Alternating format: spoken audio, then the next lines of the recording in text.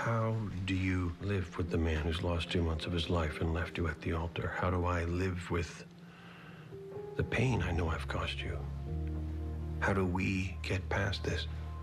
I wish I knew. I think I have the answer. We just do. So, Katherine Beckett, will you marry me?